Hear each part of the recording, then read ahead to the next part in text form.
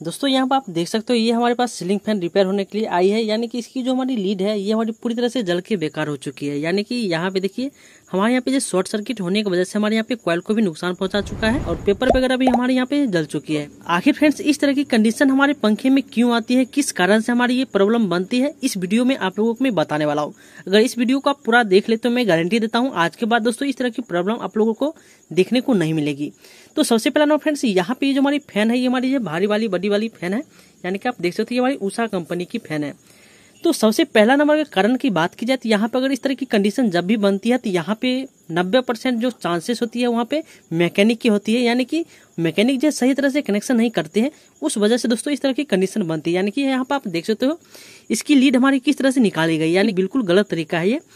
तो यहाँ पे इस तरह से आपको जो लीड नहीं निकालना है। यहाँ पे आपको जो है बहुत ही अच्छी तरह से यहाँ पे आपको जो लीड को निकालना होता है। आपको मैं नेक्स्ट आने वाली वीडियो में बता दूँगा कि यहाँ पे हमें सीलिंग फ़ैन के अंदर लीड किस तरह से निकालना है, ताकि हमारी कभी भी क्वाइल के ऊपर यहाँ पे जो शॉर्ट सर्किट ना हो। अब दोस्तों, यहाँ पर अगर दूसरी कंडीशन की बात की जाए तो यहाँ पे हमारी दूसरी कंडीशन होती है, हमारे घर में जो वोल्ट आती है, वो हमारी होती है। यानी कि हमारे घर में आखिर वोल्ट कितनी आ रही है? तो उस हिसाब से हमें जो इस पंखे के अंदर कैपेसिटर को लगाना होता है। यानी कि मान लीजिए हमारे घर में वोल्ट अभी यहाँ पे जो है आ रही है 220 वोल्ट या यहाँ पे जो है 200 वोल्ट आ रही है। तो उस कंडीशन में आपको यहाँ पे जो है कैपेसिटर को यूज़ करनी है ढाई एम की। यानी कि ढाई एम से यहाँ पे ज़्यादा कैपेसिटर इसके अंदर ना डालें।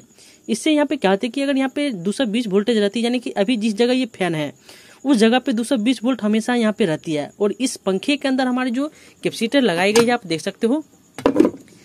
ये हमारी यहाँ पे जो है, तीन पंद्रह की यहाँ पे जो लगाई गई है। तीन पंद्रह की कैपेसिटर यहाँ पे जो है डाला गया है। पर यहाँ पे होता क्या है कि रनिंग पे हमारी हमेशा लोड रहती है। और स्टार्टिंग पे दोस्तों हमारे यहाँ पे जो है, इस कैपेसिटर के थ्रू हमारे यहाँ पे जो सप्लाई जाती है।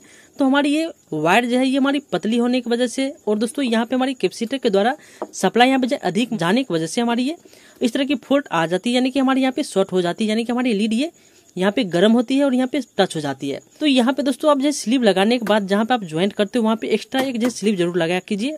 अब अगर तीसरी फोल्ट की बात की जाए तो यहाँ पे इसकी जो हमारी तीसरी फोल्ट हो सकती है, ये हमारी बैरिंग की हो सकती है, यानी कि हमारी बैरिंग जाम रहती है और हमारी ये मोटर यहाँ पे जो मैग्नेट पूरी तरह से बनाती है और इसकी बड़ी दोस्तों पूरी तरह से फ्री नहीं घूम पाती है तो उस कंडीशन में भी इस तरह की फोल्ट हो सकती है, यानी कि आ जाती है।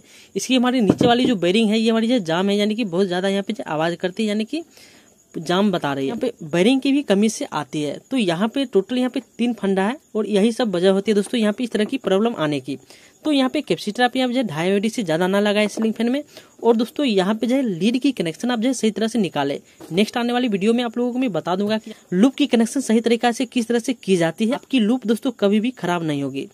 तो दोस्तों यहाँ पे ये थी इसकी जानकारी। अगर दोस्तों ये वीडियो पसंद आई है तो वीडियो को लाइक ज़रूर कीजिएगा और ऐसा ही वीडियो देखने के लिए हमारे चैनल को सब्सक्राइब ज़रूर करें।